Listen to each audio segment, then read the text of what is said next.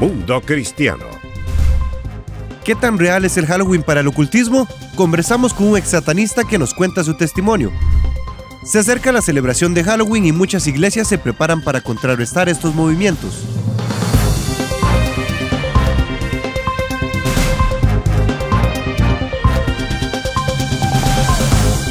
Saludos cordiales, bendiciones y bienvenidos a una edición más de Mundo Cristiano. Soy Horacio González y a continuación hacemos un repaso de las principales informaciones de la Iglesia en el mundo.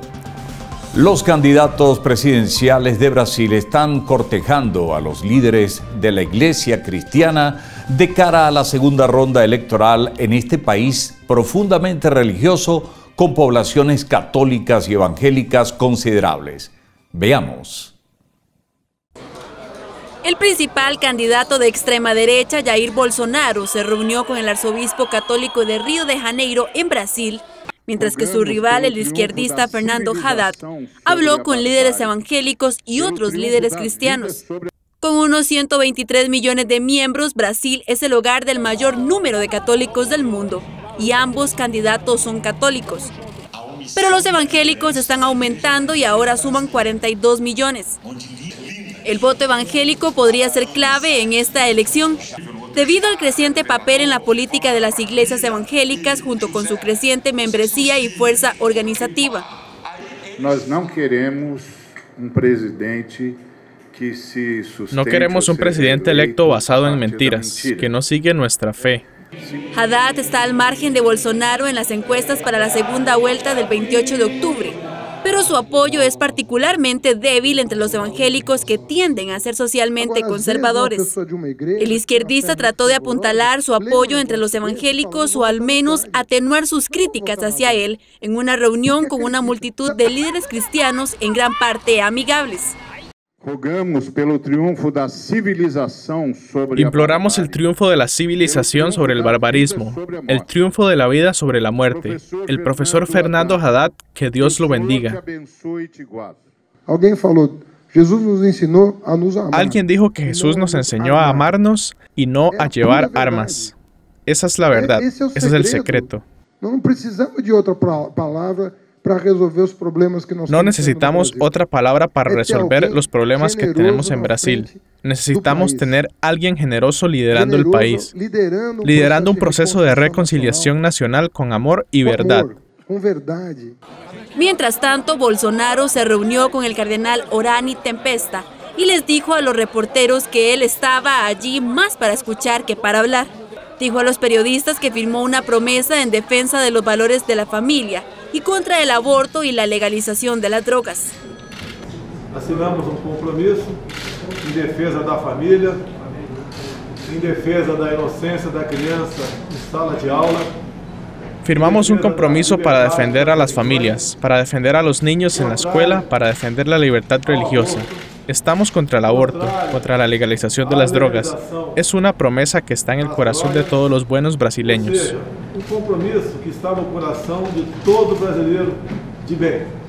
Los católicos están más divididos que los evangélicos, pero las encuestas indican que también prefieren a Jair Bolsonaro. Stephanie Sánchez, Mundo Cristiano. Vamos a hacer contacto de inmediato con nuestra compañera Stephanie Sánchez, quien nos tiene más información. Adelante, Stephanie. Gracias, Horacio. Hacemos un repaso de lo que pasa con la iglesia en el mundo. Durante su recorrido en territorio mexicano, la caravana de los migrantes provenientes de Honduras, Guatemala y El Salvador recibieron ayuda de diferentes organizaciones humanitarias. La Brigada Médica Nazarena es una de ellas quien dio servicios médicos a los migrantes mientras se encontraban de paso por el Parque Central de Tapachula, en Chiapas. Los médicos y enfermeras atendieron a unas 140 personas que presentaban algún padecimiento. El Ministerio Nazareno de Compasión en el sur de México invita a los creyentes a elevar oraciones por los migrantes, además de ofrecerles ayuda física y espiritual si se encuentran con ellos durante su recorrido hacia los Estados Unidos. Un grupo de brujas de la vida real celebró una ceremonia en Brooklyn, Nueva York, con el objetivo de lanzar hechizos contra el nuevo juez de la Corte Suprema Brett Kavanaugh, el presidente Donald Trump y el líder de la mayoría en el Senado Mitch McConnell. Aproximadamente 16.000 personas expresaron interés en el evento de hechizo en Facebook, pero solo unas 60 personas pudieron entrar en la librería oculta donde se llevó a cabo el evento de brujería. Las ganancias de la cuota de participación de 10 dólares se otorgaron a causas pro aborto y LGBTI. Cristianos de todo Estados Unidos respondieron al evento demoníaco con oración. Regresamos con Horacio que nos tiene mucha más información. Gracias, Stephanie. Se acerca una de las fechas más alarmantes para la iglesia, el Halloween, una noche que celebra el oscurantismo en todo el mundo. Es por eso que a lo largo del planeta la iglesia se organiza para contrarrestar este tipo de movimientos. Veamos. Muchos lo ven como una fecha comercial. Sin embargo, la iglesia ha sido enfática en no ignorar la naturaleza de la celebración del Halloween. Es por eso que a lo largo del planeta millones de personas se reúnen para orar y adorar a Dios. La Alianza Evangélica Latinoamericana está organizando una noche de clamor por Panamá. Se espera que miles de personas se reúnan en el templo del Tabernáculo de la Fe. La Biblia dice que si dos o más se pusieran de acuerdo en la tierra acerca de cualquier cosa, le será hecho por mi Padre que está en los cielos. Entonces la iglesia va a orar para reprender todos esos espíritus eh, eh, de brujería, de Halloween.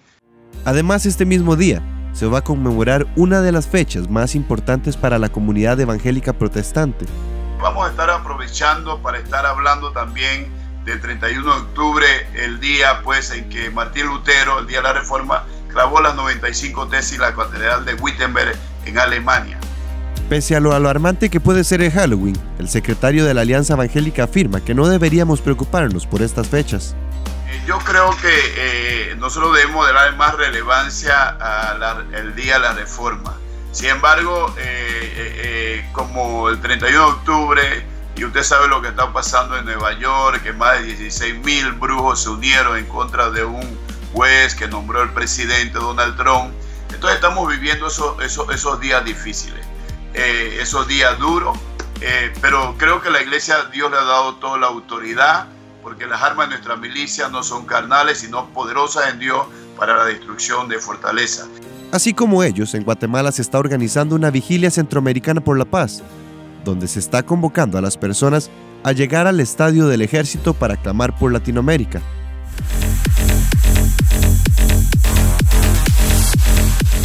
Además, Casa de Dios prepara el Festival Illumination, un festival de música electrónica cristiana, donde tal y como ellos lo describen, es ir a celebrar la luz mientras otros celebran la oscuridad.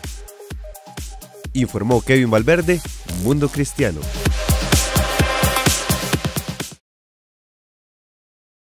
Cada 31 de octubre millones de personas en el mundo entero celebran el famoso día de Halloween una de las actividades principales es que los niños vayan acompañados de sus padres vestidos de sus personajes preferidos. Esto con el fin de tocar puerta a puerta para pedir confites. Si usted lo escucha así, suena como algo tranquilo, como una festividad llena de diversión y muchos dulces. Pero ¿sabía usted que tiene un trasfondo espiritual? Para ampliarnos más sobre este tema hemos invitado vía Skype al evangelista John Ramírez, quien en su pasado practicó el satanismo y la santería. Bienvenido, evangelista John Ramírez, a nuestro programa. Oh, bendiciones, hermanito. Dios te bendiga hoy. Eh, gracias mucho, hermanito Horacio. Yo quiero darte gracias por darme la oportunidad de de verdad, eh, las tinieblas son las tinieblas y no importa cómo tú la vistas, el diablo es el diablo. Y uno tiene el mundo cristiano y, el mundo que no es cristiano, tiene que saber el peligro. Y, la máscara que el diablo le pone a Halloween para, para tener la oportunidad, ¿no? para tus hijos, para tu familia, para tu casa y tu destino, que el diablo se quiere meter en, en esa parte de la vida de uno por un día nada más. Eso es importante que tengamos esto claro desde su conocimiento, ¿qué trasfondo espiritual tiene particularmente Halloween? Halloween, Halloween es un pacto con el diablo, es un pacto, un tratamiento con el diablo, porque yo de, yo de la edad de 8 años, yo practicaba la brujería, yo practicaba la santería, yo practicaba el palo mayumbe, practicaba también el espiritismo. So, en, en Halloween, en, Halloween es un trato con el diablo, eh, es satanismo. Ahí cuando, eh, si tú ves, si tú haces eh, la oportunidad de mirar, hay mucha gente que también en ese el mes de octubre fallecen. Hay gente del mes de octubre que van al sitio y, gente lo cogen para hacer sacrificio humanamente. Y todo eso, el diablo es, es como los otros cristianos, bien de santo, ¿no? El bien de santo para nosotros es un día tremendo. Y para, el diablo es Halloween un día tremendo para que lo practican el satanismo y la tiniebla. John, mencionabas que desde niño, ocho años de edad, comenzaste en todo esto del ocultismo. Y también me comentaba fuera de cámara que eres padre de una hija de 29 años. ¿Por qué los cristianos no deberíamos celebrar Halloween y especialmente el cuidado que deben tener los padres? Eh, eh, yo, yo digo, eh, mira, una, yo le voy a decir de verdad, de verdad, de verdad, de verdad, yo me casé en Halloween, en octubre, en octubre 31, cuando yo estaba en la brujería, en la santería, en el espiritismo, en Palo Mayuma, yo me casé en Halloween con mi esposa, que es esposa mía de ese tiempo. Lo casamos en Halloween, fue una fiesta diabólica, que vinieron, vinieron espiritistas, vinieron santeros, vinieron gente que practica las tinieblas para bendecir ese día y, y la boda de los otros. No vinieron gente de afuera porque tenían miedo. Pero eh, eh, entonces, si tú dices yo amo a Jesucristo, o si tú dices yo amo a mi esposa, o amo a mi esposo, entonces ¿por qué tú estás afuera celebrando con otra persona eh, ese día? En tu propia experiencia, como bien lo dices, ¿qué podríamos decirle a quienes en el pasado hayan celebrado el Halloween y ahora se arrepienten? O sea, ¿cómo se puede cerrar esa puerta al ocultismo? Uno tiene que, uno tiene que verdad, eh, eh, eh, verdad Dios, Dios, perdona el pecado, Dios perdona las cosas que nosotros hacemos a veces ignoradamente o hicimos cosas que no tenemos que hacer. pero también uno tiene que decir el diablo, you know, hoy mi mito, yo, yo, yo hoy rompo cadena contigo de los días que yo celebré Halloween, que yo viste a mis hijos, que yo hice, yo fui a puerta a puerta, tocando a puerta a puerta, yo reprendo eso ahora mi mito, yo no tengo más contrato contigo, yo, yo corto la cadena de, esa situación ahora con la sangre de Jesucristo y tú tienes que ser por tu boca, hablar, a, poner el diablo.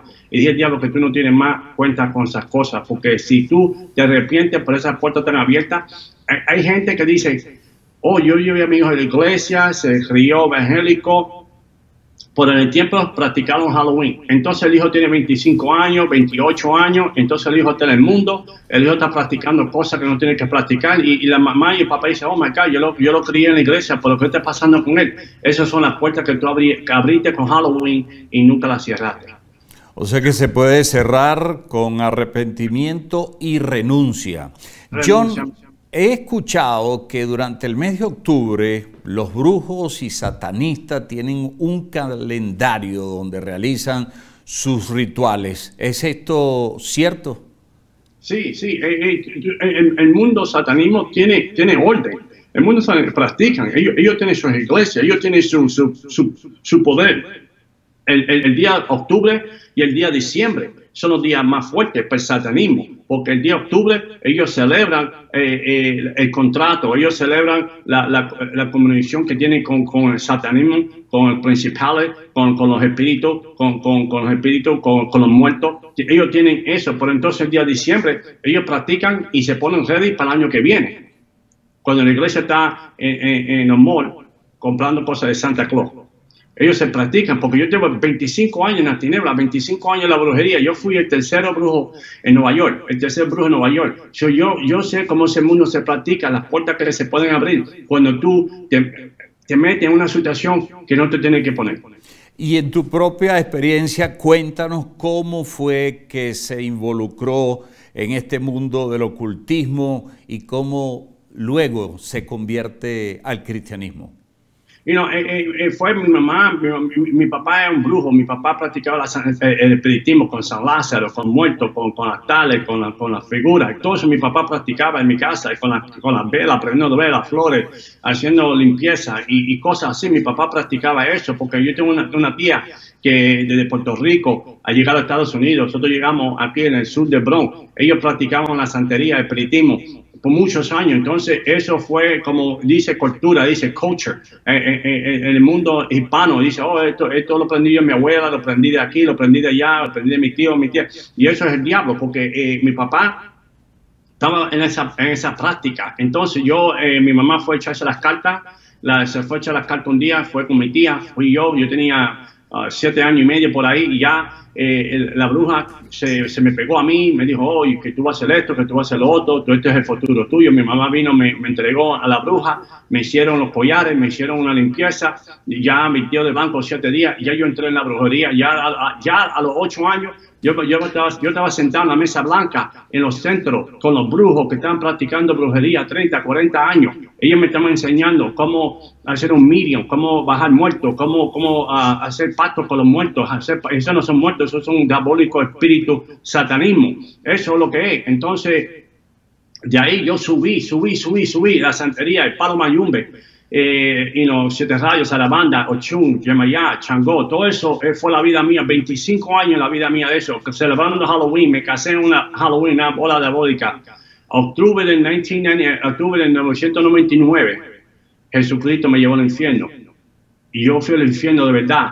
Y fue un, fue un sitio que es un sitio que existe y yo fui como un brujo, yo, yo, yo, fui, yo tenía toda la ceremonia hecha, yo tenía Yemayá, Changó hecho, yo tenía Palamaño, Siete Rayos, Sarabanda, yo era pritita, yo tenía, yo tenía todo dinero, yo tenía todo, y cuando fue el infierno, yo vi la verdad y la cruz de Jesucristo pareció el infierno, y ahí cuando yo vine para atrás para mi cuerpo, yo fui para el infierno como un satanismo y vine para atrás como un cristiano.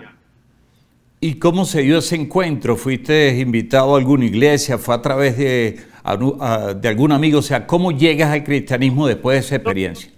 Hermanito, ah, yo estaba sentado en mi cama en octubre y yo estaba preparándome para hacer brujería a la iglesia, a los cristianos. Yo estaba preparando hacer brujería a muchos sitios. Yo estaba practicando pues, ah, cuántos animales voy a comprar para sacrificar los animales para la sangre. Yo estaba practicando, ah, poniendo cosas juntas para tenerlas, para mandar cantazos, brujería para, para la gente que yo quería mandarle brujería. Y ese octubre yo me senté en mi cama y yo dije, eh, yo sentía que Jesucristo, dos semanas antes, yo, yo oí la voz de Jesucristo por la primera vez. Yo estaba viendo, eh, tenía la televisión prendida y por la primera yo oí la voz de, de, Jesucristo me dijo a mí, hijo, yo vengo pronto, ¿qué tú vas a hacer con tu vida? Y yo me quedé con shock porque yo nunca oí esa voz en mi vida. Yo conocí la voz del diablo porque yo me sentaba con el diablo como me estoy sentando con usted hoy, así, así, hablando así. Yo me sentaba con, con, con los espíritus, yo me sentaba con los muertos, todo eso, satanismo, me sentaba, hablaba con ellos toda la noche. Y, y cuando oí esa voz, esa voz se sentía como una tranquilidad en la voz. Entonces, dos semanas después, yo estaba en mi cama y dije, Jesucristo, yo no te voy a servir a ti, tu iglesia no, no, no sirve para nada, tu iglesia no vale nada, tu iglesia no tiene poder, yo me voy a quedar con mi papá, el diablo, que tiene más poder que todos ustedes. Y pero si cuando me estaba durmiendo, estaba durmiendo como si tú fueras por una sala de operación que te ponen el gas para dormirte. Y yo dije, si tú eres más grande que el diablo, enséñame ahora. Y ahí cuando me llevó al infierno. Y vine para atrás y me di la vida mía a Jesucristo. Y nunca miré para atrás. Gracias a Dios y un testimonio que ha llegado a miles, cientos de miles de personas. John, ¿cuál crees tú que es la mejor manera de que la iglesia participe y evangelicemos en esta área tan delicada.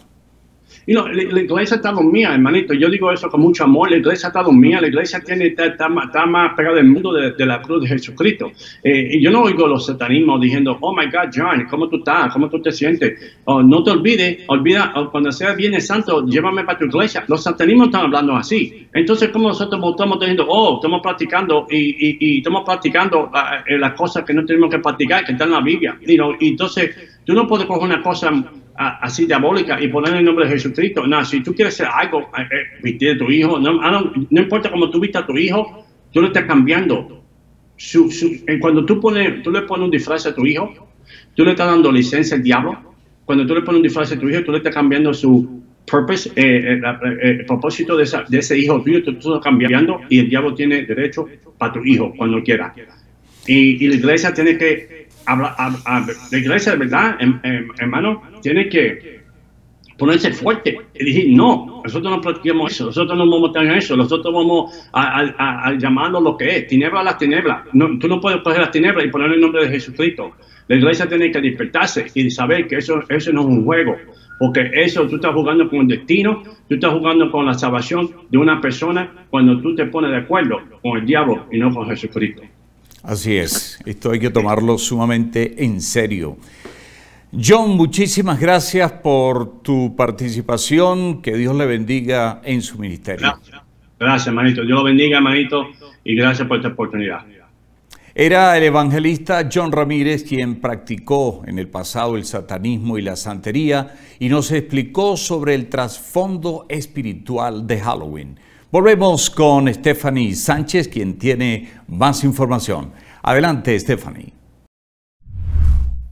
Gracias Horacio, de inmediato repasamos las principales informaciones. El Museo de la Biblia, ubicado en Washington, D.C., se ha visto obligado a admitir una verdad dolorosa. Al menos 5 de los 16 fragmentos de pergaminos del museo son falsificaciones aparentes. El anuncio tiene serias implicaciones no solo para el Museo de la Biblia, sino también para otras personas e instituciones cristianas evangélicas que pagaron un alto precio por lo que ahora parece ser un caso masivo de fraude arqueológico. Los rollos son una colección de antiguos textos religiosos judíos que se descubrieron por primera vez a mediados de la década de 1940 en cuevas en la costa occidental del Mar Muerto en lo que hoy es Israel. Se cree que el enorme depósito de documentos hebreos se remonta a los días de Jesús la inauguración de un monumento a la Biblia en el departamento de Cerro Largo, en Uruguay, promovido por la Unión de Pastores Evangélicos de Melo, ha generado polémica debido a que grupos opositores aseguran que es un ataque a la laicidad. En un comunicado, las organizaciones sociales manifestaron su repudio ante la actitud de atropello por parte de la comuna que incurrió en un grave error que viola profundamente la laicidad junto a otros valores democráticos. Para las organizaciones, el acuerdo entre la Comuna y la Unión de Iglesias Evangélicas es un acuerdo que no respetó en ningún momento los procedimientos necesarios para concretar el monumento y detallan que se pasó por arriba dos normas. Este es el reporte que tenemos. Horacio, continúe usted con más desde el set principal. En un ambiente cargado de insultos como el de las batallas de raperos, en Argentina destaca un joven que aún en los eventos seculares, él solo entona palabras de bendición. Veamos. Muchas veces me hace recordar mis cicatrices, otras me hace hablar lo que el corazón le dice. O se origina en un rincón de mi pieza o me anima por completo cuando pierdo la cabeza. En Buenos Aires es muy común ver en los medios de transporte a jóvenes que comparten su arte para juntar dinero. Así comenzaba Juan Matías Varela, más conocido como Doser.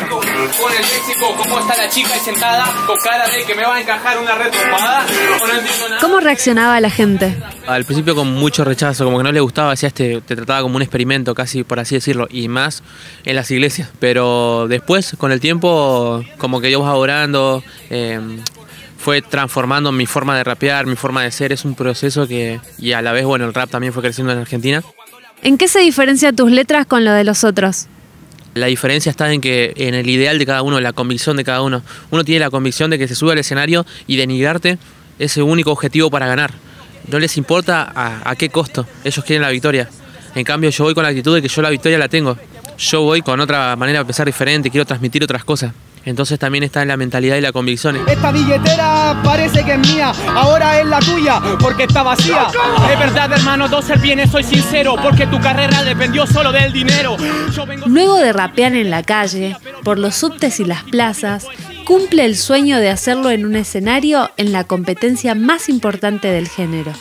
Yo creo que los trenes me forjó mucho en ese sentido. Me hizo saber rapear contra la persona que te rechaza en el momento, saber rapear contra el que te quiere golpear cuando rapeas, eh, saber rapear cuando tenés hambre, eh, cuando no tenés la ropa suficiente para vestirte bien. Mientras más arriesgas uno más se supera, o sea, más te chocas contra tu límite y vas creciendo. Creo que me forjó mucho el estar en los trenes, padecerla duro, pasarla dura, me, me forjó mucho, digamos, como para rapear profesionalmente y subirme al escenario como sin miedo. Ya logró el título de campeón nacional en Argentina.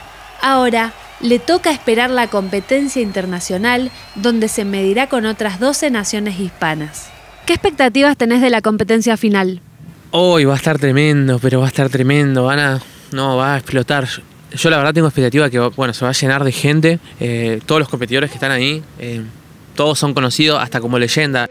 ¿Qué mensajes le darías a tus rivales? Que no me vean como rival, sino como un ejemplo como un ejemplo que, trata de dar valor en un mundo que se está hundiendo con un mensaje que no es la realidad de nadie. Nadie vive de drogas, nadie vive de alcohol, nadie vive de mujeres. Porque es lo que sale, rap de reales. Sigo creyendo en Dios, peleando firme por mis ideales. Desde Buenos Aires, Argentina, Docer tirando su show, haciendo una entrevista en la pista con Judith Coe, utilizando rima en el lugar. Sabes que cuando rima alucino mi amigo y no puedo frenar algo lo espiritual. Te hablo de algo real, representando a la Argentina en la mundial. Gracias por escuchar, hermano. Como rapero doy la mano y pueden ver todo esto también en Mundo Cristiano. Y así llegamos al final de esta edición de Mundo Cristiano. Le invitamos a seguirnos a través de nuestro sitio web www.mundocristiano.tv. También en nuestras redes sociales estamos en Facebook, Twitter, Instagram y YouTube. Hasta entonces y bendiciones.